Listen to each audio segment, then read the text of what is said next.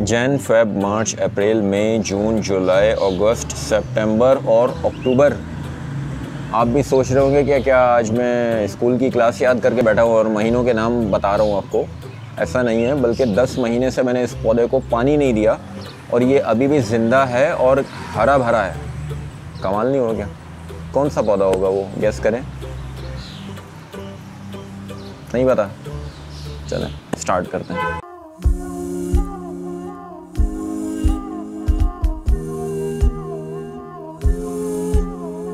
अच्छा जी, जिसकी बात हो रही है वो और कोई नहीं, बल्कि पेंसिल कैक्टस है। और यहाँ पर आपको दिखा रहा हूँ मैंने किस तरह से इसको किस जगह पर लगाया हुआ है। अच्छा जी तो ये मैं अब ऊपर से निकाल कर ले आया हूँ और ये बेसिकली जनवरी के अंदर मुझे पेंसिल कैक्टस काफ़ी सारे एक तरह से कह लें उनका मैंने रेस्क्यू मिशन किया था और अब वो बहुत सारे थे और बहुत सारी कटिंग्स उनकी बन गई थी। तो और कोई पॉट भी नहीं था, कोई जगह भी नहीं बची थी कि जिनको मैं यूज़ करके इसको मज़ीद जो है वो लगा सकूँ। तो ये मेरे पास पेंट की जो बकेट्स होती हैं, वो पेंट कलर की जो बकेट्स होती हैं, उसके अंदर मैंने इसको अपसाइड डाउन लगा दिया था। ये ऊपर से बेसिकली इस तरह से ओपन है और नीचे जो जगह है, वहाँ से मैंने इसका, जिस तरह से हम ड्रेनेज होल बनाते हैं बेसिकली इसका मैंने अप्स एंड डाउन पॉट बनाकर जो है इसको हैंग कर दिया था ऊपर। और अब आप देख सकते हैं इसकी सॉइल तो खैर पत्थर बन चुकी है, ठीक है ना? और, लेकिन ये प्लांट जो है वो अभी भी ग्रीन है। हालत ख़राब है बट ऐसा नहीं है कि बहुत अच्छी ग्रोथ हो रही है इसकी बट ये है कि सर्वाइव कर रहा है। अगर हम लो मेंटेनेंस प्लांट की बात करते हैं और कुछ इस तरह की बात करते हैं कि अगर हम टाइम नहीं दे सकते किसी प्लांट को या आउटडोर प्लांट की अगर हम बात करते हैं तो रिज़ल्ट आपके सामने है और आप देख सकते हैं कि ये अभी भी जो है वो ग्रीन है और इसके अंदर अभी भी ये सलाहियत मौजूद है कि अगर हम इसकी थोड़ी सी भी केयर करना स्टार्ट कर दें तो इसके न्यू लीव्स और न्यू ब्रांचेस जो है वो ग्रो करना स्टार्ट हो जाएँगी। वो कैसे वो आपको मैं दिखाता हूँ, वो कुछ इस तरह से कि यहाँ से मुझे देखें थोड़ी सी इसकी न्यू ग्रोथ देखने को मिल रही है कि लाइक इसकी कुछ अर्सा पहले जो है वो न्यू ग्रोथ हुई हुई होगी।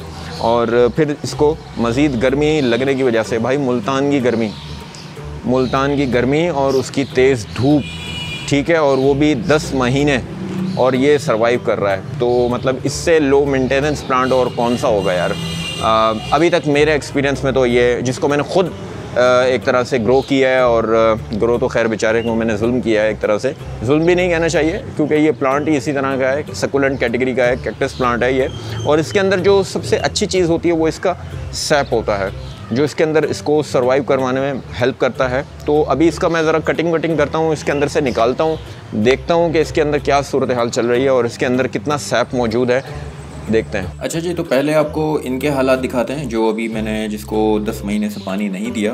पानी, खैर, बारिश तो जो होती रहती है, उसके, उसका पानी तो इसे मिलता रहता है और ये इसका सैप देखें, इसके अंदर अभी भी सैप मौजूद है। इसका जो अंदर जो लिक्विड होता है, और ये काफ़ी टॉक्सिक होता है।